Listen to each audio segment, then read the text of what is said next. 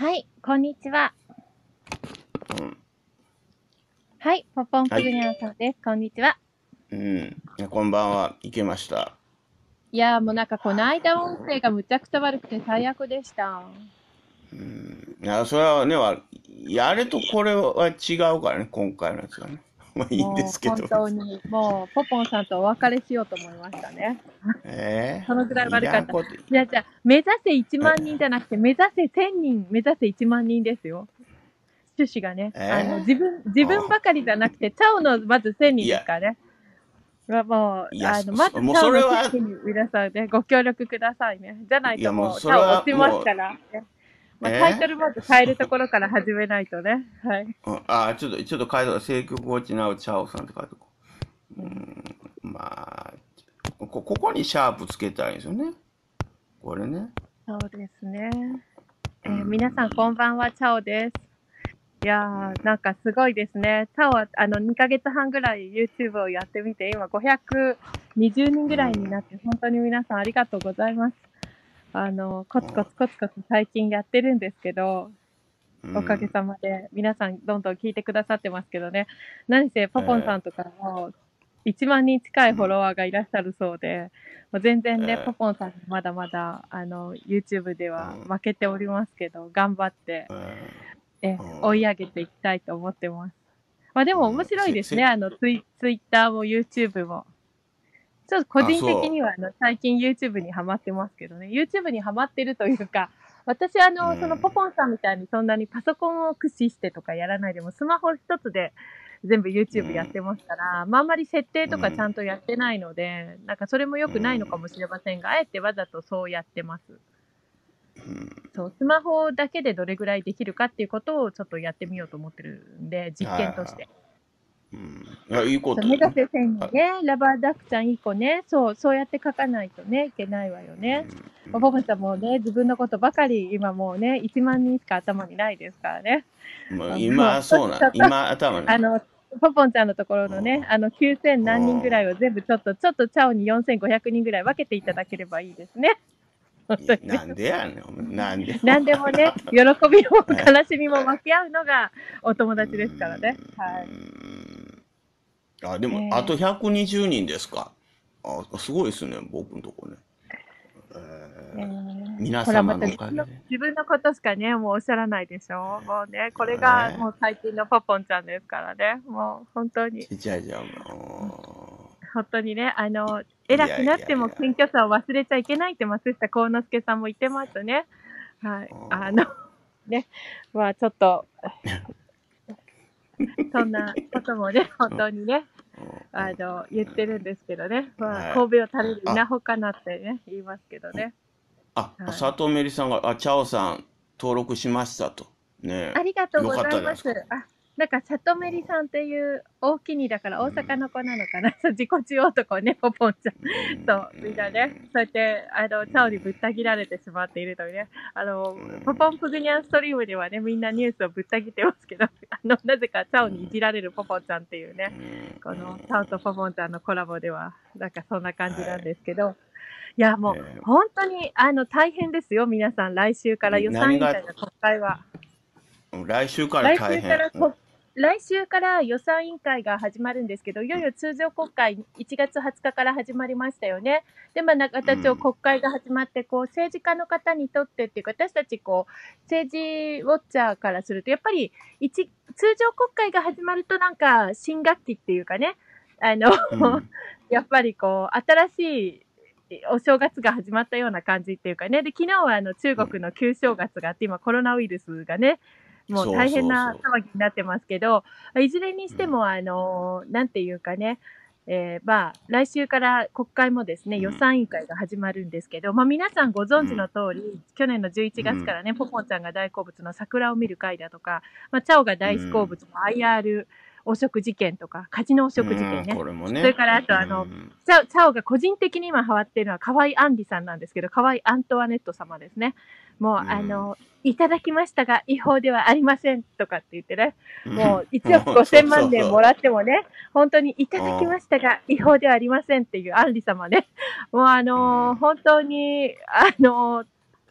最近長年長田町ウォッチをしててもね、ああいう土級のこう、悪女キャラの新人議員っていうのはちょっと初めて見た感じで、結構、アンリに釘付けって感じで、あの、チャオは、あの、結構 YouTube で河合アンリ様を結構ね、あの、追っかけてますけど、河合アンリに注目、チャオさんとか別にコメント書かなくていいですからね。あの、えーえーポポンさんね、いちいち。そう、それで、えーまあ、その河合アンリさんウォッチしてますけど、まあ、河合アンリさんと河合克行さんが今日家宅捜索されますっていう情報はですね、ツイッターで1月15日に事件が起きたんですけど、それ、うんどこのメディアよりも今日家宅捜索 NOW って書いたの実はチャオが一番早いんですよ。ということあ、でそ、うなんですか。政治アナリスト政局ウォッチ NOW はね、あの、やっぱ情報が命、速報性、スピードも共同通信や時事通信にも負けてませんから。ね、うん今日秋元司逮捕 NOW も早かったんですね。ですから、まあ、見る人が見ると、えー、チャオの政局ウォッチ NOW 早いということがあわかる。だからまあ、あの、ツイッターもねね、フォローしといた方がいいでしょうね。チャオさんのねそうで。すね。チャオの、だから、あの、速報、うんニュースの速報を知りたい人は結構ね、たまに速報をバッと流すので、まあ、あの、そういう速報を流すと、本当国会議員の先生とかからもすごい勢いで電話が来たり、DM が来たり、本当ですか、本当ですかみたいな感じで来る時があるんで、あのいちいち本当です、本当ですって言ったり、まあ、そんな、そんな感じですけど、あのーすごいね。まあ、広島地検って、なんで、まあ、あの、なんかうんだからちょっと最近のね、あの、チャオのタイムラインは年末ぐらいから、どちらかというと、政治部っぽい、政治赤じゃなくて、なんか社会部赤みたくなってますけどね。はい。うんですけど、あのーなんでそういう事件に興味があるかっていうと、やっぱり、うん。こういったこう不祥事があるのが積み上がってって、レームダック化してったりとかね、政権が。それから、うん。やっぱそういうことでもう投げ出して解散するとか、まあ、あうん。の、安倍政権がすぐ内閣総辞職とかレームダック化して解散とか、そういうことにはならないと思いますけど、んでももう、あと、あの、衆議院の任期はね、来こ来年の10月20日までもう1年と半年ぐらいなんですよね。だからやっぱりもういつ、いつ解散があっても、あの、おかしくない水域にかかってきてるんで、やっぱりこういう、あの、細かい逮捕事件とか、細かいというか、普通こんなもの十何年ぶりぐらいに起きてますから、政治家がやっぱ逮捕されるってよっぽどのことなんですね。で、まあそういうことだとか、あの、あとそれから、うん河合案里、河合克行夫妻のあの政治家が現職の国会議員のね、事務所とかご自宅とかが家宅捜索されるっていうのも前代未聞ですよ。だってしかも河合克行さん前法務大臣ですからね。法務大臣のお家が家宅捜索されるなんてことは普通あっちゃいけないわけよね。あそうですよね。そう。まあそれはあの、ポポンちゃんとかが、あの、毎日家宅捜索に会うのとわけが違いますからね。うんだからいらんやっぱりこと言わん。お前されてる思うやな、お前。うんいらんこと言うな。そうそうそううんいや、まああの、いや、家宅捜索されたいぐらいね。あの、いや、なんか、そんな、あの、何もうちょっと自分で言って自分で受ける、受けるやめてよ。いやいやいや、なんか、家宅捜索されたいとかって、どんなマニアやって思いますけど、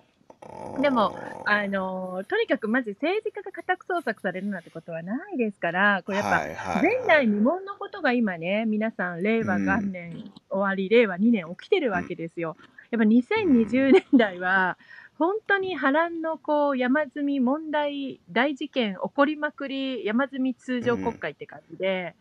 やっぱりこういう年明けっていうのは本当にこう波乱万丈な感じがしますよね。だこういう波乱なところをしっかりですね、やっぱりうん。私としてはちゃんとあの皆さんに今何が起こってるかっていうのをしっかりこう解説したり、あの皆さんにこう、やっぱりおかしいんですよという。で、やっぱあの、皆さん今今桜を見る会とかがすごいあの楽しくてね、かもしれないんですけど、まあ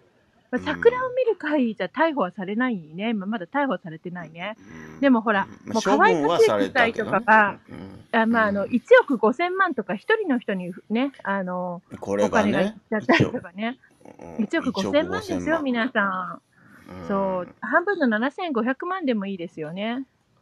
うん溝手さんはまああのね、1500万円っていうね、10分の1っていうね。いや、まあ、あの、で、1億5千万ぐらいやっぱり使われるっていうとですね、北海道知事選とか大型の本当に負けることができない政権がやっぱり命運をかけたような知事選の大型知事選なんかで使われるお金ですよね。で、それへが、え。その2人区のたった一人の候補者に、やっぱり配られたっていう。で、まあ、その辺については、あの、私のですね、YouTube の河合克行さん、河合杏里さんの、この1億5千万何がすごいのかなんてこともちゃんと話してるので、まあ、その辺もしっかり聞いていただきたいと思うんですけど、うん。やっぱり、1億5千万っていうのはまあ異常です。で、あの、異やっぱり激戦選挙区で、それからあの、うん。これもね、あの、他の人報じてないんで、あうの、ん。先週の木曜日に、あうの、ん。河合克行夫妻の1億5000万問題の野党合同ヒアリングが、桜を見る会のあの野党合同ヒアリングで開かれたわけ、第1回が。うんそれ、で、あの、そちらの方で、えー総務省のね、選挙部の方を読んで、こう、まあ、野党が追及してたんですけど、まあ、それも聞きました。で、結論から言うと、広島県においての、あの、うんまあ、これも4700万なうっていうやつをね、あの、やっと書いておきます。うんまあ、これしっかり、あの、かなり面白い YouTube だから、もうみんな、あの、笑い、笑いをこらえて聞いてほしいんですけど、なかなかよくできてると自分で自画自賛しますけど、あのね、4700万円。うん、え4700ー万。広島県の参議院選挙で使っていい選挙の上限っていうのは4700万円なんですよ。あ、そうなんですか。まあ、そう。選挙で、ね。これが法定選挙費用っていうんですけど、それが上限が、えーうん。要は4700万円で、うん、4700万円ね。はい。で、その金額を、うん。要は、あの、まあ、使ってたわけですよ。まあ、まあ、でも、まあ、1億5000万っていうのは選挙前にっていう、いや、まあ、選挙前だけど、うん。あの、どう考えたってあの選挙のボリュームで考えたら、その、おもお金もらうこと自体は違法ではないんですけど、うん、ないって言って明らかに選挙の規模とかそういうのプロが見たらですね、それはあんたすごいかかってるでしょってことになるんですよ。どう見てても。まあ、うんうん。で、まあ、今回の参院選で私のとこにも広島の良い子からです。まあ、はっきり言って全国でいろんな選挙区から参院選のこととか、いろんな、あの、こういう候補がこんな風に頑張ってますとか、いろんな情報を良い子たちがなんか情報をくれるんだけど、送ってきてくれたりして、お知らせしてくれると、サオさん、こんなで河合戦隊のこんなチラシが届きました。これはいいんでしょうかとかですね。まあ、いろいろなんか届いてたんですけど、うんまあ、あのーやっぱり広島から届くものの 違反報告みたいなのがすごい多かったのも事実ですね。あ、まあ、あそうですか。の私が日頃から愛してやまない山梨県というもうあの公選法特区でうん沖縄と山梨の大変選挙違反が多い県なんですけど、そ好きやね、こ以上山にすご。かったのが、やっぱり、うんあの今回広島すごかったと思います。うんえー、河合杏里さん、あ、た風の旅人さんね。あの、久しぶりですね。まあだから、なんて言うんでしょうかね。やっぱり、あのー本当にその、まあ、びっくりするようなことが起きてしまったうん。ということをですね、そしてもう、うん。あっけらかんと河合杏里様はですね、国会で質問された瞬間、いただきましたが、違法ではありません、チャオみたいな感じで、でも痺れましたね。もうチャオはなんかあの、可愛いアンリトワネット様と思って、見てて面白いなと思ったり、まあ、あと文春の記事をご覧になった ゲラを読んだことがある方とかはですね、あの、河合さんのお詫び会見の時のメイクの様子とか、持ってるバッグがお値段おいくらとかってチャオが解説してたんですけど、なんかそれ政治部記者が言ってるみたいな感じで書かれてて、パクられてんですよね。あれ、チャオが言っおーひ常々ツイッターや YouTube で言ってたことじゃんと思って、結構、良い子たちからも、あれ、チャオさんがいつも言ってて書いてあったりしたことだよねとかって言って、だだから誰か、あの、記者の人が見て、チャオがなんか書いてたりしたツイートをパクって、なんかさも自分の。文春がパクった。パいや、文春がパクったっていうか、あの、パクツイしたまあ、文春がパクったとか書かないでくださいね。あの、いや私に、チャオさんのパクったとか、またポポンさんいらんこと書かなくていいですから、いやいや、書かんよ。えー、まあ、そういうことでですね。まあまあ、あの、いまあ、いろんな人、知り合いおるからね、チャオさんはね。いろんな、あの、文春とかね、いろんな方、ね。ね、いろんな人おるからとか、あの余計なこと言わなくていいですから。いや、うん。いや、あの、まあ、文春の編集部の方もしてますけど、でも、あの、今回別に、うんあの、その河合杏里さんのことでコメントを求められてもないし、何か文春の方と見解を述べたりということをチャオはしてないので、まあ、ビ乗ってて、えー、と思って、ブルー、ね、パープルアイシャドウにマスカラバッチリとかですね、あの、そうそう、みんな結構あの、アンリ様が持ってるバッグは、あれはエルメスのバーキンとかじゃないかとか言ってから違いますよ、フェンディのピーカーブーというバッグですよとかっていうことを結構みんなに訂正して回ってるんですけど、大体お値段50万円ぐらいなんですけど、まあ、あ。の、そういったことをですね、あの、解説して回ってたんですけど、そしたらなんかそれがそのまんまあの、文春に出てたんで大笑いしてしまったという。まあいや、すごい。いや、まあでもね、すごいっすあの、大事なことはここからですね。まああの、こういうことはパクられてなんぼだと思ってますから、うん、そうそうあそのあれなんですけど、でもまあ、あの、河合杏里さんたちご夫妻がここからどうなっていくかっていうこととかですね、う。やっぱりうんあ、の、秘書の方とかがですね、今あの、連日事情聴取で呼ばれてて、こういろいろ、まあ多分うん。週明けとか本当に秘書の方は最悪逮捕されるんじゃないかという濃厚だと言われたりとかもしてるんですよね。うん。でちょっと X デーが近いかなと今言われているんですけれども、まあこういったこともですね、あの、はい、あの、まあそういうような可愛い事件、進捗がどうなるかとか、カジノ事件のこれからどこまで政界汚職が広がっていくのかなんてことに興味と関心がある人は、あの、チャオの YouTube 見ると、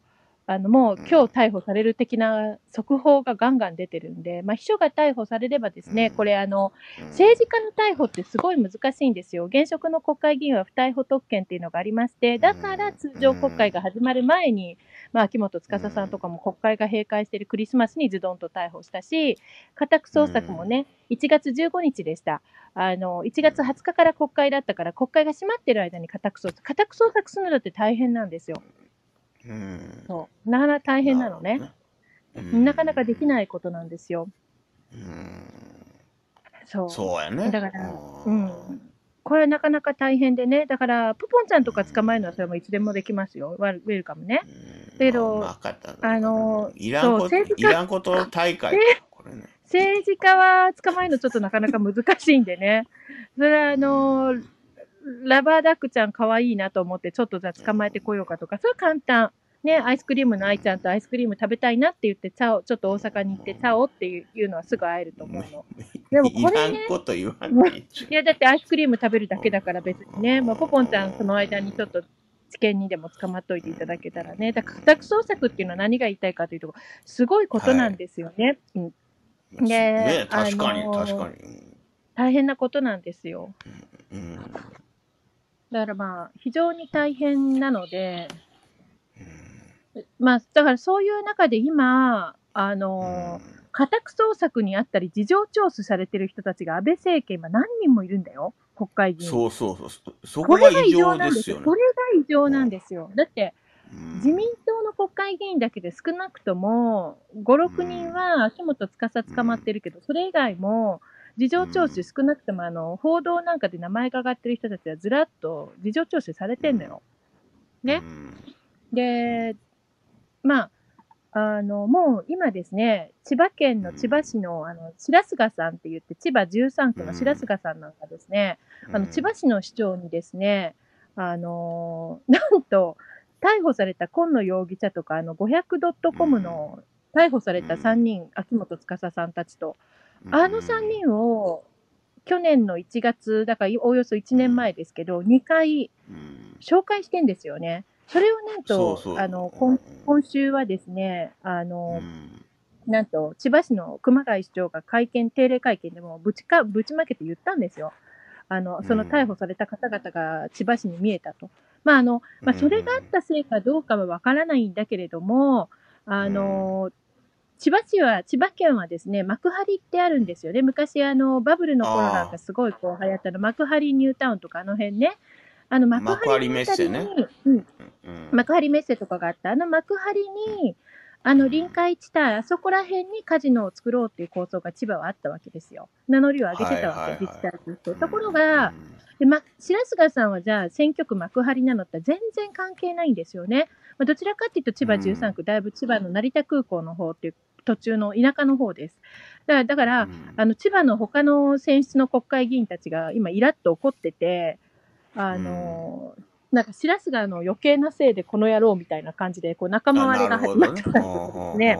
うん。で、あの、本当に千葉選出の国会議員で、あの、なんていうんですか、自民党の先生で本気でカジノを誘致したかった人たちからすると、またさらにイラッとされてたりとかですね。まあ、白菅さんっていうのはどちらかっていうと、こう、陽気な、まあ、開業医のおっさんで、こう、安倍チルドレンで若くて、こう、なんかイケイケな感じで、こう、お祭り大好きみたいなね。ちょっとそんな感じのおお兄さんだったわけですよ。で、まあなんか、あの、秋元司さんがね、内閣府の副大臣だった時、内閣府の政務官だったっていうのがもしかしたら運の月で、まあちょっと自家用 Z 乗って、ちょっと深センとマカオ行かないかとかって、チャオみたいに誘われて、きっとなんか楽しそうみたいなノリで行っちゃったんだと思うんですよね。まあでもノリで行っちゃって、それで、そのノリでまあちょっと自家用 Z とかなんかちょっと気持ちが大きくなっちゃって、で、戻ってきてから、まあ去去年のね、1月に、あの、だから、あの、千葉市の市長さんに、カジノの業者さんを紹介しちゃったっていう、繋いじゃったっていうことがもう今、今回バレちゃってるわけですよ。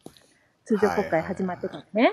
で、この件について、もうマスコミの人が白菅さんを毎日こう国会があるたびに本会議長とかで前で貼ってるんだけど、足早に逃げてっちゃって、小走りに逃げてったり、うん。足早に逃げてったりとか、まあ、最近ほんとね、杉田美桜さんとかこううん。逃げてく人たちが多いんですけど、あの、うん。みんなね、なんか携帯電話かけたふりとかさ、みんな逃げるのエア電話してるとかね、言われてるね。そうそう。なんか忍忍法透明人間の術とかね、みんな欲しいかもしれないですけど、まあ、とにかく、うん。あの、だみんな、あの、社会部の記者でもですね、国会担当っていう政治部じゃなくて、これ事件、桜を見る会とか、こういう秋元司さんとか、政界の汚職事件があったりとかするときに、あの、うん。こう、政治家さんに聞く、社会部の国会担当っていう方々いるね、そういう人たちとかもみんな待ち構えてて、白菅さんとかね、今回一連のうん、こう、お名前が上がった人、はいまあ、河合杏里さんたちだって待ち構えられてるんだけど、1億5000そうですよね。万もらっうん。て、どうすかとかね。うん。で、違法ではありませんって、まあ、河合杏里さんでも堂々としたもんですよね。記者引き連れて、うんいただきましたが違法ではありませんって答えるわけ。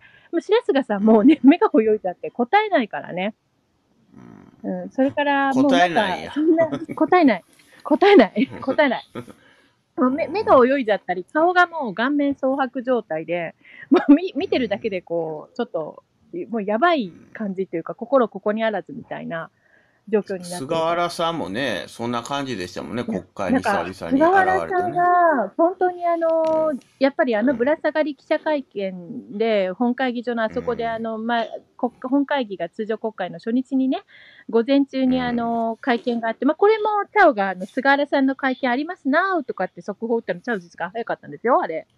あ、そうなんですか。はいすあれごいね。も早かった。あの、そう、河合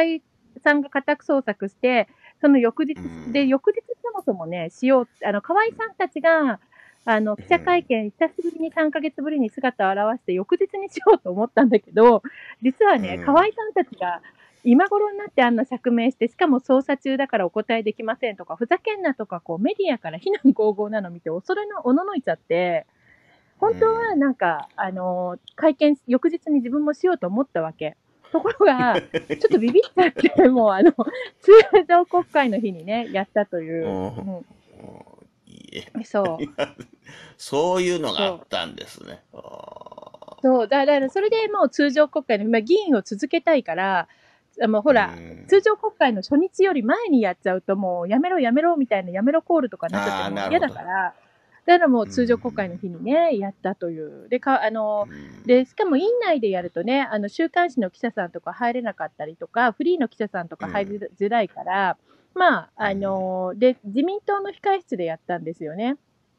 24番控室。まあ、そこに入ろうと潜入しようとしたね、フリーの記者さんたち、なんかあの、いや、野党かなんかの会館のパス通行書かなんか借りて入った方もいたみたいなんだけど、あの、へ自民党の控室なのに出てけとかって追い出されそうになったとか、記者証を持ってないと入れないからね。まあ、あの、え。はい、入るにはやっぱ通行証がないとダメですからね。だ国会うんのあの記者で記者証で院内でも取材活動ができるってプレスパスを持ってれば入れますけど、うんまあだからその院内で、まあそういう状態で、まあ自民党の、だから要は、ホームとアウェイで言えば、あの、うんまあ議員会館の中でやったら、まあいろんな不特定多数が来ちゃうから、国会内でやったわけですよ。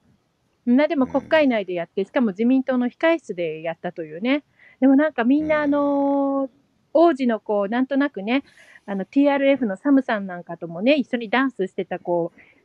時のノリノリのイケイケの菅原一生さんっていうと、そういうこうね、みんなカニでメロンのイメージってあるじゃないですか。。だけど、もうなんかちょっと見る影がなくなって、こう、一回りなんとなく小さく、やっぱり本当、おやつれになってたって言ってましたね。でやっぱり、あの、ご苦労されたんだと思いますね。まあ、だから、もうね、うん、大変やな。大変ですよ、本当に。で、まあ、ポポンちゃんもね、そうやって、ええあの、うん、ちょっとご苦労とかしてみたらどうでしょうかね。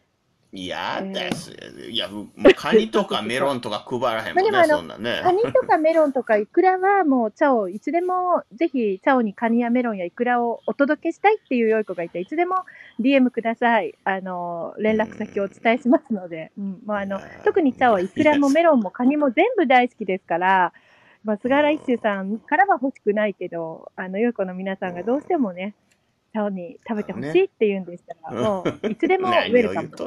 何を言うとカニ好きですね。またあの、カニ石がね。川県とか、富山県のうん、あの給食だと子供たちね、日本海カニが取れますから、子供の給食で冬にはカニが出るんですよね。やっぱカニの食べ方って、うん、あのー食育っていうかね、やっぱカニの食べ方ってこうコツがいりますから、ね、うん。カニ欲しいですよね。そう、カニ美味しい。カニ美味しいって話。カニ大好き。メロンも好き。メロンはね、あの、静岡もメロンの産地だし、熊本もあるけど、北海道の夕張メロンやっぱ綺麗で美味しいね、果肉がね。ううんん、などこどこのメロンでもいいですけどね、あの静岡のメロンも大好きだし、あの掛川とかのメロン美味しいですね、お友達からいただいたことがあります。えーお茶も美味しいんですけどね、掛川はね。掛川メロンも美味しいです。そう。それから、う。ん。まあ、何でも詳しいんですけど、それね、食いしん坊いらっしゃいみたいな話と政治の話になってきましたけど。まあ、だから、とにかく、あの、ええ。何が言いたいかというと、もう今、あの、うん。国会始まってから記者の良い子たちはですね、もう、うん。あの、事情聴取された人たちが久しぶりに国会出てきたから、まずどういう面して、まあ、簡単に言えばね、ガン首揃えて国会やってきたかっていうところを厳しく尋問しないとってところから始まってるんですよね。うん。なるほど。だからそう。だみみんなでだけど、あの、足早に逃げてく人とか、目を合わさない人とか、ね、あの、だからそこら辺から言うと、あの、沖縄の下地幹夫さんっていう人は、あの、いや、お金も受け取ったりとかしたんだけど、憎めないっていうか、まあ、ちゃんとね、あの人、ほら、通常国会前に記者会見してるんですよね。下地幹夫さんは、維新離党したり。まあねまあ、説明的にまだ果たせる。で、あの、お金なんかもらってないし、俺悪くないし、みたいな、会ってないし、今野正彦知らねえし、みたいにすっとぼけてるのが、あの、まあ、宮崎正久さんですよね。まあ、宮崎正久さんもね、あの、まあ、記者に逃げまくってる方のお一人なんですけどね。そうう。ん。そうツイッターとかではね、なんか説明したりとかして、まあ、ちゃんとね、うん。まあ記者会見とかでしてほしいですね、説明はね。あの無実、潔白だったら潔白で、ね、ちゃんと説明してほしいなっていうのは思いますよね。まあ、なんかね、あの、母校の校長先生が自分のこと、うん。立場を保証してくれたとか書いてるけど、校長先生が人物を保証してくれても、お金もらってるかどうかまでは校長先生わからないのでね、やっぱり母校の校長先生に恥じないような、あの、やっぱり宮崎先生ね、説明責任していただきたいのと、まあでも、そうそうやっぱりあの宮崎正久さんなんかは、法務政務官やってますから、要は政府の人間なんですよね。法務、うん。森雅子法務大臣の下の、うんそれこそ森雅子大臣は河合克行さんが辞めた後にリリーフで入ったけど、まあ、そのそ,、この法務政務官やってらっしゃるんですけど、まあ、来週から本当に予算委員会はじめ委員会がこう始まってきますから、まあ、そうなってくるとね、どっかでやっぱ宮崎正久さん、野党側から質問されますよ。で、うんそうなってくると、やっぱ答えれなくなってくるタイミング、フェーズっていうのが出てくるから、まあ、うん。この辺でね、来週どうなっていくかっていうところが、やっぱり、あの、やっぱ、ウォッチしていくのは宮崎正久さんとか白菅さんとかね、まあ、この辺がどうなってくるかっていうところ、それから河合克行さん、安里さんの秘書がね、X デーはいつなのかとか、まあ、そういうことが、まあ、まず、あの、最初の来週の国会、まあ、1月最終週、月末のね、まあ、見どころかなというところなんですね。来週激しいですね。お前他ねに見てないのかって怒られそうですけど、まずでも、あの、そういうこう、問題不祥事山積み通常国会ですから、やっぱこういう不祥事片付けてってもらわなきゃ前に進めませんからね。そら話し合いそうですよ。のテーブルに来てないじゃないですか、与野党。ね。うんうん、そらそうよだから、うん、だからこれ、やっぱ話し合っていかなきゃいけないんで、前に行かないんで。うんで、しかもこの通常国会は、150日で6月17日までなんだけど、なんと6月18日からあの都知事選が始まっちゃうんですよ。あで6オリンピックもあ月18るから。もう6月17日までが通常国会で、通常国会っていうのは1年で一番長い150日間だけども、6月17日終わったら、すぐ18日から翌日から都知事選っていうスケジュールがもう切られてるわけ。えだから、延長することができないわけ。ね。えなるほど。ある意味うん。だから、それは延長でさ、後ろに伸ばせないっていうのはなんでかっていうと、7月24日から今度オリンピックがあるから。うんねうん。ああ、オリンピックはね。国会っていうのはスケジーュールって言われてるけど、とにかくもう、うんあの、そういうスケジュールがもう全部決まってますから、だからうん、こういう不祥事でダラダラダラって言って、後ろに先延ばしにしたりとかね、審議に応じてるか、うんなんか引き延ばすことっていうのが、今回の通常国会なかなかできないスケジュールなんですよ。ななるほどねまあ、だからその2月解散っていう話もですね、まあ、これだけのこういう不祥事があったらもうみそぎやリセットというか、というか、この不祥事を爆弾を抱えたまんま本当に150日の長丁場の国会が持つかなっていうところで、一つそういうことが起こってくるかなっていうのもあるんだけど、でもその、うん。私がもう本当リセットするしかないんじゃないって思うぐらい、やっぱ問題局面がいっぱいあるわけですよ。だけど、まあ、その2月解散するかしないかどうかっていう見極めも、本当にこの月末最終週、1月最後の週がですね、やっぱ、あの、来週から予算委員会始まりますから、ここしっかり、あの、ウォッチしとかなきゃいけないと思いますね。あそういうすごいみんな賢くなってる目ですね。うん。だ来週1週間が見どころだよっていうね、ままるであの、あの、テレビガイドのように国会ガイドして、して分かった、分かりやすかったでしょ、今。ね、わあ、すっごい分かり方。いいや、これは僕も、あの、初めて分かりましたね。そういう意味でね。うんまあ、だから来週の運び出し、この通常国会が、の、やっぱ最初のやっぱ山場、だからもう野球で言えばさ、いきなりこう、ね、今1回の表が終わって、1回の裏、野党攻撃ですみたいな感じになって、いきなりもう1回の裏から打撃戦とかが始まっちゃうかもしれないわけよ。バンバン下手すると与党は打ち込まれるかもしれないというようなね。まあそういう局面になってきてるわけですよね。で、まあこの猛攻をですね、それからこの野党の猛攻だけじゃなくて、まあマスコミもあるし、それからね、東京地検特捜部さんもいらっしゃるし、広島地検さんもね、河合克行ご夫妻問題では頑張ってますから、あの、敵は野党だけじゃないんですよね。今、検察も。そうそうそう。うん、そう。だから、もうそういう意味で言って、まあメディアも、あの、監視してますよね。だからそうすると、もうそういう部分で言うと、こう、言い逃れとかそういう、こう、ね、臨時国会はなんとなく、ほら、河合さんたちとか菅原さんたちも隠しちゃって、国会お休みして、こうね、なかったふり、いなかったふりみたいなことできたんだけど、それができないのが通常国会なんです。そうでね。隠れられないですね、もうね。もう逃げも隠れもですね。だからね、このこの辺のこういう、こう、タイミング、まあ、ここの辺こう見て、で、やっぱりね、あの、それから、なんかほら、1億5000万もらったことは、こう、与党内もね、俺も欲しいよみたいな感じで文句言ってる人たち結構いらっしゃいますよね。そうなんですよ。下村さんがね、ポポンちゃんもね、あのー、欲しいと思う人だと思うんですけど、どうですか、ポポンちゃん、YouTube1 万人になるのと1億5000万だったらどっち欲しいですか？いや、それは1億5千万でしょう、そんなもん。1億、って言ってますね。いや、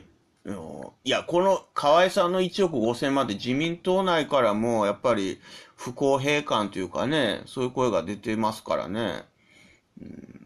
で、下村博文さんがね、あの、安倍首相か二階幹事長の判断で1億5千万円が振り込まれたというふうに言いましたからね、テレビでね。いや、これも波紋大きいと思いますよ。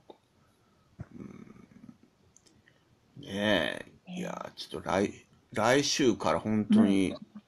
面白そう。だから、まあ私がね、週明けいよいよ予算委員会スタート。来週から永田町と沖縄、千葉方面は IR 汚職で再び激震かとかっていう YouTube も上げときましたけど、もう今日大体ざくっとね、まあ、これもしっかりちょっと10分ぐらいだから聞いていただいて、予習しとくと、もう来週の国会についてはね、もう、良い子の皆さんも大変分かりやすい見どころがどこなのかということ、大体分かりましたよね。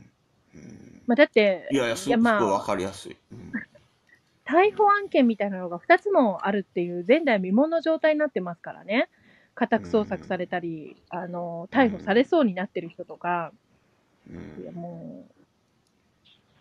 とね。もう、あの、まあ、あの、自民党の県議さんが紹介した運動員さんまで家宅捜索、まあそうですね、ウグイスさんたちは全部13人全員で、20人ぐらいも事情聴取されてるんですよ。で、えっ、ー、と、自民党の県議さんも、あの、やられてるんですけど、あの、なんか、私はなんか、かわい、どうのこうのとかって言って、あの、なんかこう、突然記者会見した方は、ね、告発した人ね、言ってましたよね。まあ、でも、まあ、あの、あ、あ、で、あの、ジャンヌ・ダルクのようにね、でもあの方は実は、あの、ここだけの話、河合派の、河合さんに近かった県議さんと言われてる方で、あ、まあ、だから寝返ったっていう、うん、ことなんですよね。だから彼女はあのサンフレッチェ広島とかですね、エディオン広島のお嬢さん、ご令嬢で、まあ、あのサンフレッチェ、エディオン広島の社長さんの3回ご結婚してて、2回目の奥様のところのお嬢様だったというね。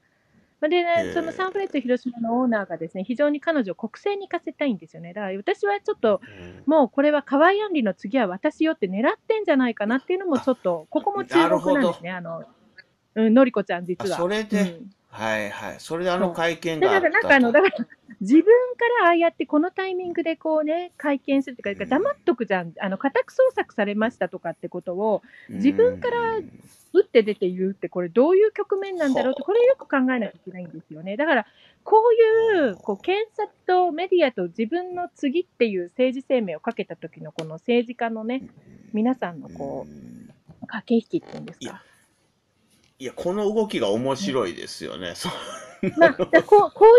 うな話を私のあの YouTube ね、まだポッポさんほどフォロワーいないから、拡散されてないけど話してるから、聞いた人はみんな面白いというか、あの、はっきり言って、あの、新聞記者も聞いてますから、多分あの、聞いてる聞いてる。のやつを聞いて、あの、あ、事件の概要が分かりましたとかってご丁寧にあの、メッセージをいただいたりとかしますから、もっとみんな勉強してくださいって思うんですけど、まあ、チャオなんでこんな詳しいかっていうと、広島の地元の政界関係者とか、それから広島支局の記者さんたちともやり取りをしてます。IR 実験で言えば、沖縄と北海道が舞台なので、沖縄の政治関係者、北海道の政治関係者、それから沖縄、北海道とかのね、あの、地元の記者さんたちとも、本当日夜話してます。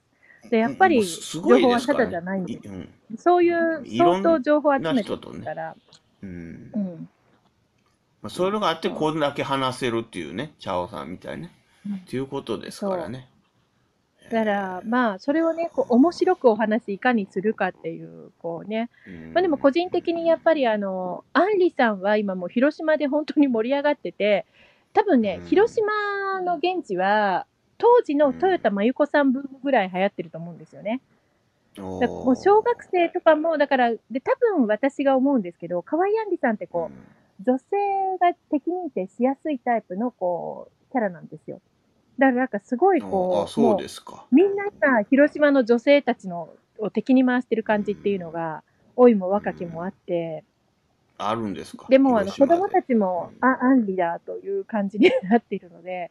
いや、まあ、そういう、それを、やっぱアンリさん、ウォッチしてて、やっぱ、チャオは飽きないというかですね。うん。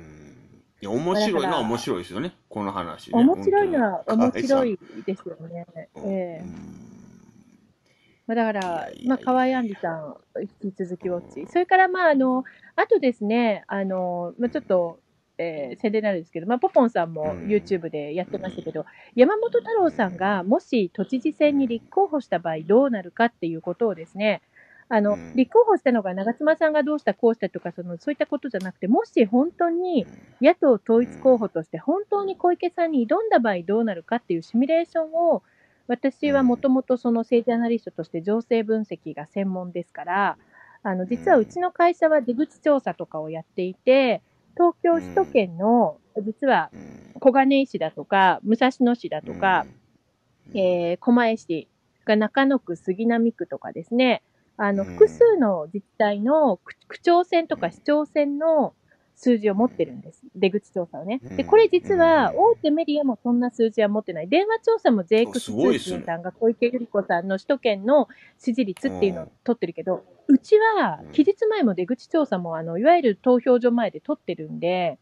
なので、小池百合子さんが今現在どれだけうん。例えば小金井市の良い子の皆さん、どれだけ小池さんが支持があるかとか、武蔵野市でどれだけ支持があるかとか、それも選挙の時に投票をかけてるんで、あ投票というか出口調査をかけてるんで、まあ、その一番直近の数字っていう手元資料があるんです。その手元資料をもとにですね、これ本邦初公開ね、もうネットで本当は無料で出す内容じゃないけど、その内容をあ YouTube で話して、もし山本太郎さんが小池百合子都知事と選挙をやってガチでやった場合どうなるかっていうシミュレーションをしてます。で、どどのぐらいあの与党と野党っていうか、まあ、小池百合子さんがどういう戦いをして、山本さんがどれぐらい票を取るんじゃないか、どういう戦いになるかっていうような話を詳しく、その情勢とか票の面から分析してます。だからこれ聞いた人は、結構面白いって言って、で、またこれもですね、やっぱりあの、そういう情勢分析とか、そういうことに興味がある政治部の人もなるほど勉強になりましたとかって、なんか今日も来てましたけど、まあ、いずれにしても、うん。あの、ただ純粋にも令和のファンです、山本太郎さん好きとかね、あのうん、野党応援してますっていう人とかっていうんじゃなく、現実問題、山本太郎さんがどれぐらい票が取れるかっていうことを解説してるんで、あとまあ、チャオが山本太郎さんにあのインタビュー、直にしたインタビューも最後動画につけてますので、まあ、令和新選組ファンの良い子はね、ぜひ見ていただけたら。で、まあ、そのやっぱり前哨戦になる選挙っていうのは、まあ、ちょっと京都市長選ですよね。山本太郎さんが、まあ、あの、昨日もね、土曜日、あの、うん京都に入って、ああ、やってましたね。福山君応援してましたしましたけど、うんやっぱりこの山本太郎さんがどれだけそういう、やっぱり、えー動員したりとか、影響力が選挙に出てくるかっていうとこ一つ、ここ試金石だと思うんで、無党派を取っていくっていう意味ではね。うん。で、そういうところの、あの、やっぱりケーススタディになるという意味では、まず、この、えー京都市長選の、やっぱり、えーまあ、週明けにはね、京都市長選の情勢等も出てくる、報道されると思いますけれども、うんあ、の、まあ、そこは一つ注目しています。そうですね。あの、うん。まあ、あの、注目してます。だから、うん。やっぱり、えーまあ、今週ね、あの、もう日曜日になりましたけど、まあ、首都圏では府中市長選とか八王子市長選とかうん。そういった選挙もありますけど、まあ、あの、ここね、あの、まあ、小池さんね、なんだかんだ皆さんいろいろあの、排除発言だなんだって言ってるけど、おしなべて皆さんが思っている以上に小池さんは、どの自治体でも東京都内で大変支持率があります。で、そのことも、あの、実はチャオは話してます。だから、小池さんを倒すっていうのは並大抵じゃないんだよっていう話を、まあ、端的に言うと話してるんですけど、ね。まあ、それにどういうふうに挑むかっていうのと、まあ、太郎さんだったらこういう票の出方になっていくんじゃないかっていうのを話しているので、うんまあ、そこをしっかり、あの、また聞いていただけたらと思いますね。そうですうん。だから、うん。それから、あとは、あの、たまあ、令和新選組がもし、まあ、あの、まあ、それよりも、都知事選の方に行かないで、また、党首としてね、次期衆院選の、本当衆院選いつちょっとまだあるかわかりませんけど、出た場合の、あの、令和新選組の獲得票ね、がこれぐらいっていうのも、まあ、私のノートの方ではその次期衆院選議席予測というのを出してますから、まあ、これはですね、本当にあの、実はちょっと IR 汚職があったんで、もう来週にもちょっと議席や情勢が大きく3カ所ぐらい選挙区が変わる可能性が出てきたので、そこも私は特裁版を作っってます。で、まあ、こちら有料ですけども、早くで、こう、次、候補者が、うん。あーそこがぬあの自民党を離党したりね、その辺の人たちが出てきた場合、そこに誰が次入るかっていうことまで、もう私の次期衆院選議席予測はもう書き始めてますから、これもどこよりも早いですね。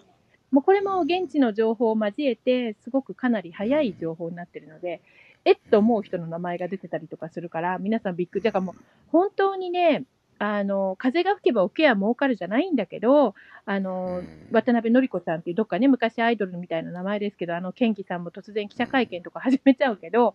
こうやっぱり不祥事は蜜の味っていうかね、政治家、その次を狙って、こう、ブルペンにもボール投げて投球練習始めてる人たちがいるわけですよ。まあ、そういうのも含めて、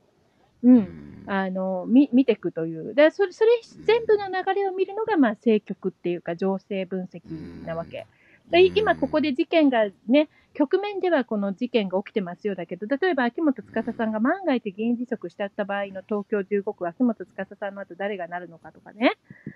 そういう話ですよ。うん。まあそうですで、ね。そういう、まあ、東でも京秋元15区だねん。が、そう、そう。んまあ、東京15区辞めた後誰が来るかってこともすでに私のノート書いてます。だから、うんあーそういうのがもう本当にこう、容赦ないですよね。塀の中に入った瞬間からもうね、準備始めてる人たちがいるというね。もうだから、あの、永田町っていうのはある意味、こう、サバンナのね、あの、猛獣たちがいるみたいな場所ですよね。だからポポンちゃんそういう向かうか歩いてたら、ですね。まあ、食べられちゃいますよね。うん。だからまあ、おあの、大阪で、大阪でお好み焼き食べててください。そう、はいそうしないと、あの、中田町ふらふら歩いてたら多分食べられますからね。怖いですね。そわ永田町は怖いなっていうね。う。中田町、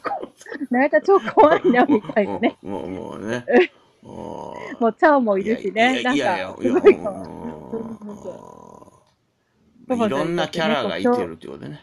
いいろんな人が。まあでも、そういうところで、こうね、うん。まあ、か弱い女の細腕でうん、私も頑張ってますので、ぜひ皆さんね、あの、YouTube チャンネル登録とかして応援していただいてね、あの、はそう、もう、ポポンちゃん以上に押し上げていただけたらね、あの、また、本当に、あの、まあでも、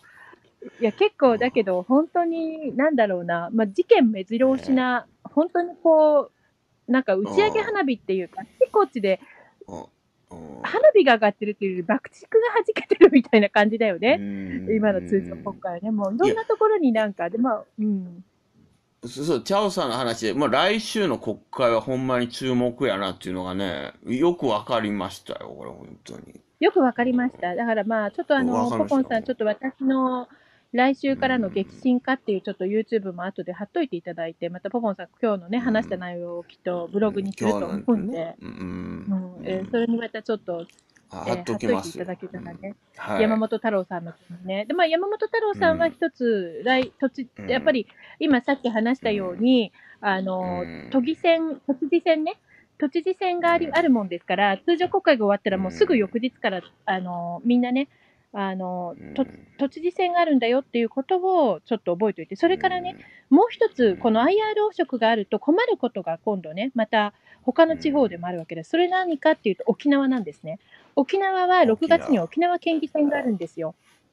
だからやっぱりこう、そうそう、そうそうそう。だから、沖縄やっぱり県議選もね。そう。う、ん。これもね、例えば下地さんとか宮崎さんとかの今回こういったダメージや影響っていうのが、これ当然県議選にも大きな影響を出してきますよね。で、あの、下地さんなんかうん。維新離党したとともに、あの、地域、維新の党をね、もう沖縄からは撤収したって、沖縄の今維新から出てた県議さんたちはなんか下地さんとともに多分なんか地域政党を作りますよね。ね。沖縄はですね、6月7日、だから、都知事選よりも10日早く、6月7日に投開票があるんですけど、うん。えまあ、あの選挙が6月10 18日から、まあ、東京都知事選は始まって、7月5日投開票ですけど、まあ、とにかく、え沖縄県議選もあるし、東京都知事選もあるし、でも、その待ったなしでスケジュールが、こう、もう、あの、はいはい。今年の夏、やってくるわけですよ。うん。オリンピック前に。ある意味、あの、やっぱりこの、これらの選挙っていうのはすごく大きい選挙になってきますし、まあ沖縄はね、あの今、オール沖縄、玉城さん率いるこう野党が強いですけど、まあそういう中で、沖縄こういう IR 汚職があるから、これ沖縄の自民党とか与党系には大激震ですよね。そうですよね当然。これはね。うんそうただ、ただ野党が大激震だけど、野党大激震だけど、これで漁夫の利だと思ってるやゆその与党の人たちの中にはいるわけです。うん、代わりにじゃあ自分がもしあいつが失脚したら自分が出て国政出てやろうとか思ってる人たちだっているから、そうでしょうね。本当にねそうそう。もうね、だから正解っていうのはそういうその、やっぱりその虎視眈々なところっていうのが、うんをしっかりどういうふうに局面、局面を読んでいくか、見ていくかっていうのの積み重ねなんですね。足の引っ張り合いもすごいですね。同じ仲間でもね、ねこれね。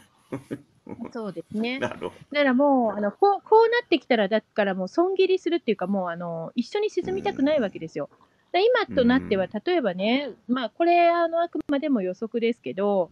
カジノは、うんあの、政権にとって、東京オリンピック後のインバウンド政策で、国策政策として、うんこう、オリンピック後の日本の景気回復のためにやりたいと思ってる政策のようですよね。だから、IR 法案、カジノ法案を通したわけ。でも、河井克行さんご夫妻の問題っていうのは、河合さんたち単体で起こした事件ですよね、今捜査中の。うん。でも、河合さんたち損切りさせて、とりあえず河合さんたち、あの、ほら、うん野党の人たちが政倫審で追及だとか言ってるじゃないですか。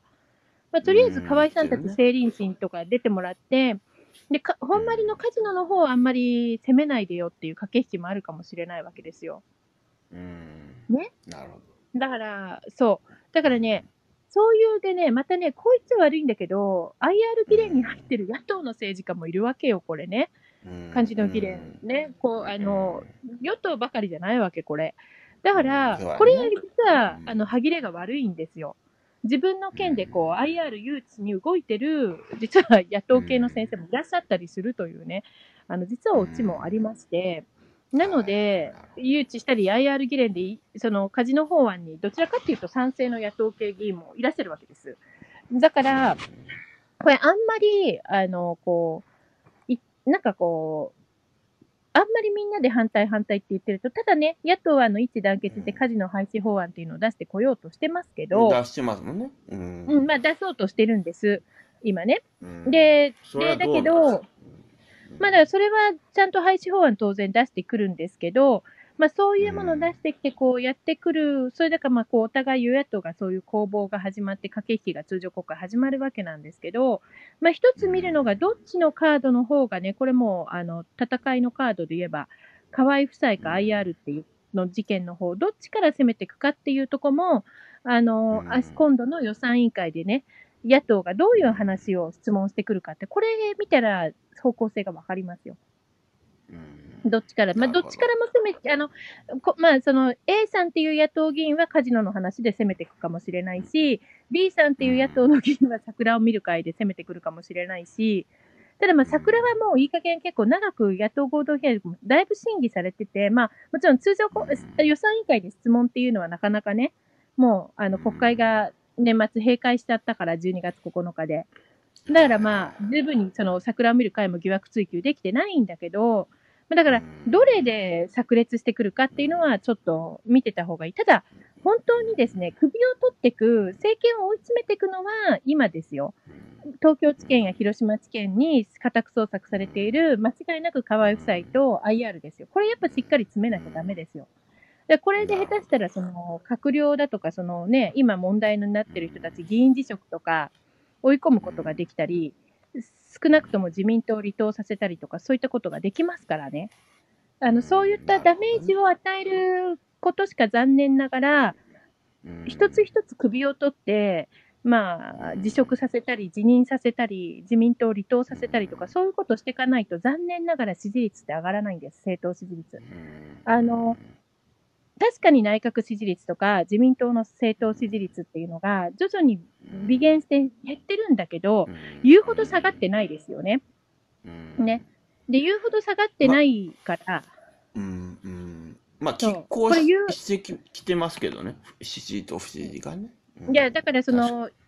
うん、でも、まだその言うほどその下がってない。で、じゃあ、じゃあ下がってるんだけど、じゃあね、言いますけど、立憲民主党とか、えー国民民主党とか、共産党の支持率がうん。と伸びてるかっていうと、ね、うん。や、や、与党のそういったものが内閣支持率や自民党のそういった支持率が下がってきた分、うん。そのね、支持率が下がった分の期待値ね、えーうん。それが野党の方に行ってるかっていうと、今まだ行ってないんですよ。ないですからね。うん、はい。そうそうそ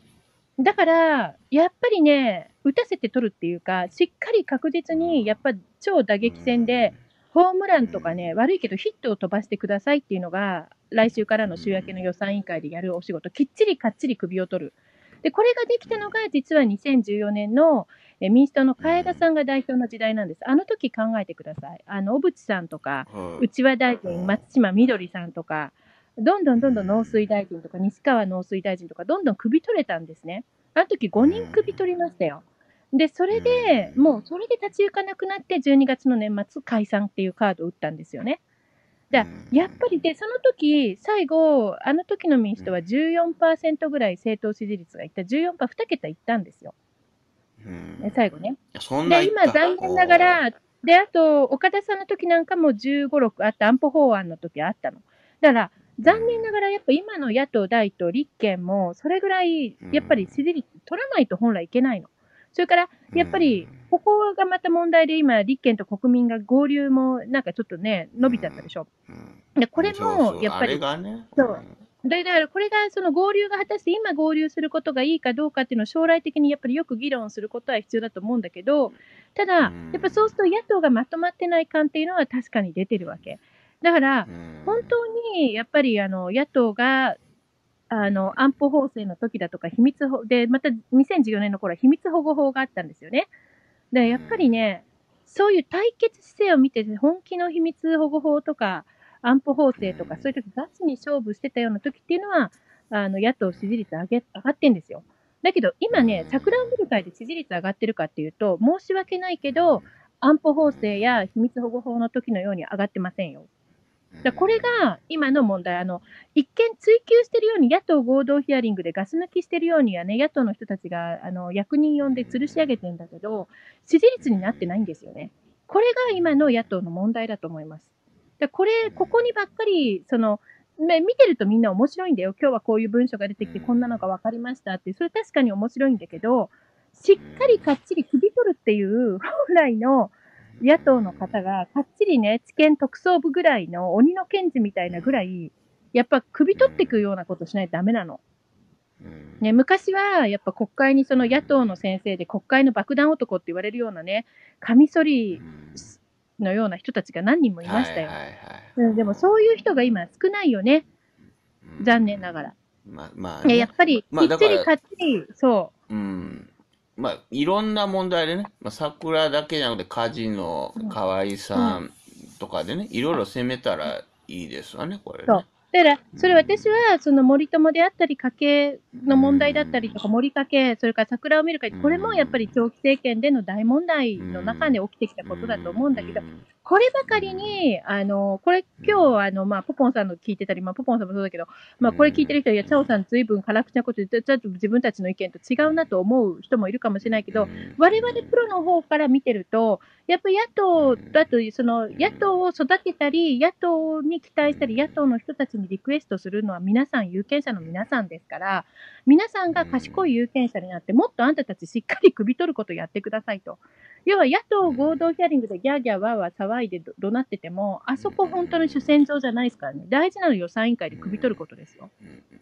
うん。しっかりと。まあまあ、それも、それも大事やし、他のこともしっかりやってくれよっていうね。まあ、それでいいんじゃないのかな。いや、だからそれをちゃんとやらないと、あの、支持率に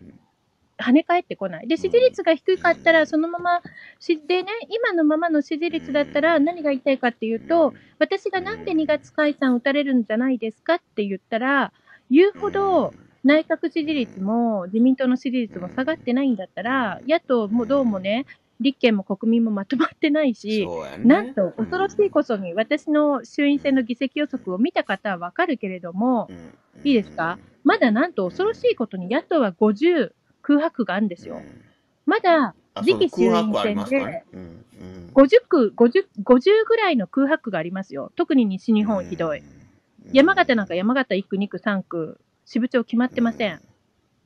もうええそういう空白がいっぱいあるわけ。だから今解散なんか2月にばってもうね、これ例えば来週の国会が荒れるでしょ？もう頭来て安倍さんがじゃあ解散しますよ。芯を取ってあのリセット解散だ。確かに私たちね、こんな不祥事を起こしたり逮捕者出たりして申し訳ないと思ってるから芯を取るために解散だって言って今やった時、あの、それは多少は自民党議席減らすと思うけど、大幅には減らないと思います。厳しいこと言うけど。で、やっぱり、あの、なぜかっていうと、今、今、今解散されたら、私は野党大変困ると思いますよ。で、令和新選組の山本太郎さんだって、100議席次期衆院選で立てるって言うけど、まだ候補者決まってないもんね。でしょ、皆さん。そう。で、どうするんですか？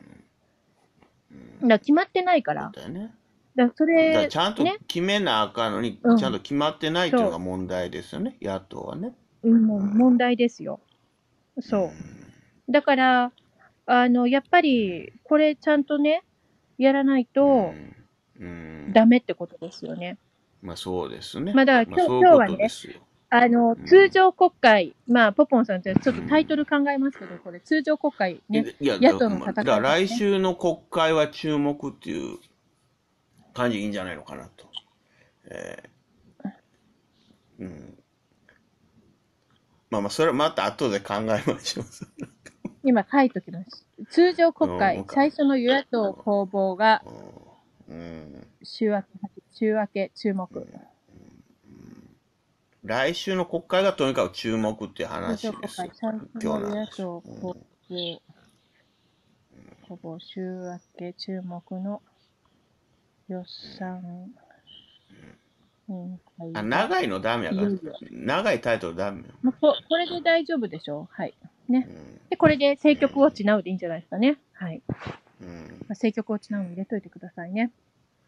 はい。えー、とということで、ね、まあというありがとうございました。ですね。だからまあ、うんちょっと来週からしっかり見てで、来週ボカボカツッコミが甘かったりすると、あ、この程度かと。野党はこの程度しか、でも俺たちの首なんか所詮取れないなと思ったら、解散打たれるかもしれませんよ。で、緩い球投げちゃダメなんですよ。本気の球投げないとね。ダメ。うんもうこれ、あの、何度でも言いますけど、中途半端な緩い球とか、その野党合同ヒアリングでわーわーギャーギャー騒いでても首取れないから。ね。本当に安倍総理や菅官房長官とか、本当にその閣僚の首取りたいと思ったら、ちゃんと、ちゃんとね、狙ったところに球を打って、もう矢を思いっきり心臓にぶち込むとか、それぐらいやらないと、当たらないから。うんうんそう。そういうことを、まあやあの、やれるように、そうそうしっまあ、かりと。野党頑張ってほしいですね。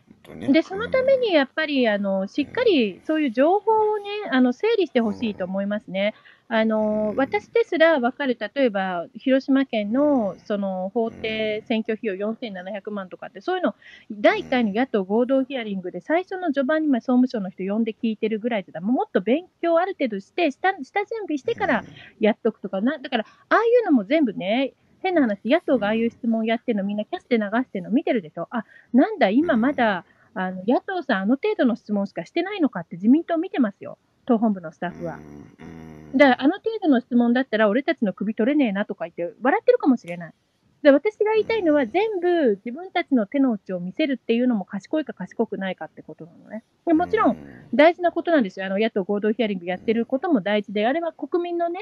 野党の広く支持者の方々に見せるのはいいけど、手の内であそこで出てる質問を聞いてると、いや、私だったらあんな質問しない。その質問はね、あの、もっと、その、水面下で用意しとって、そ、そこで披露しない方がいいなって、学芸会の発表とかね、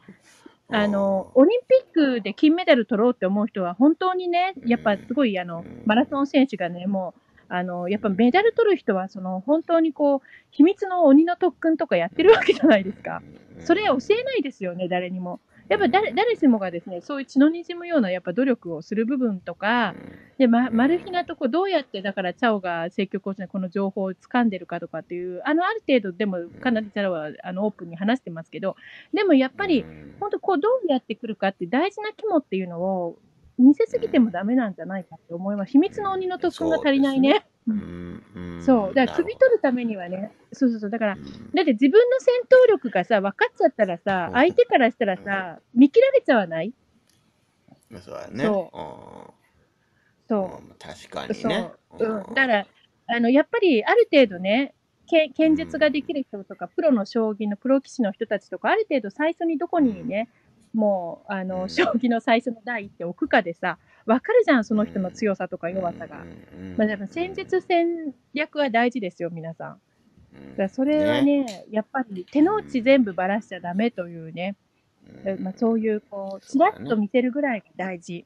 だまあ、どれぐらいね、来週野党が、あの、このね、えー臨時国会から通常国会までお休みがありましたけど、どれぐらい攻め込むことができるか、ここまでちょっと注目です。そうですね。はい。うんもう本当、はいね、注目ですということでね。えーこれはまあアップしときますんで、これ、はい。えーありがとうございました。ありがとうございました。じゃあ、ポポンプグニャンさんと政局をちなうチャオの、えーはい対談でした。あ、新年最初、はい。あこの間やったから、新年2回目か。まあ、いよいよ通常国会、やったかな？ね、与野党のっはいて感じで、よろしくお願いしわかりま。ますした。ありがとうございました。ありがとうごチざいました。ャオさん、ありがとうございました。はい。チャオさん、ありがとうございます。はい。はい、どうも。